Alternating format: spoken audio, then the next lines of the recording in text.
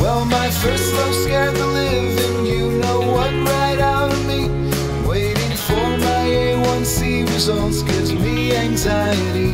Counting carbs makes me feel like I need a chemistry degree from MIT.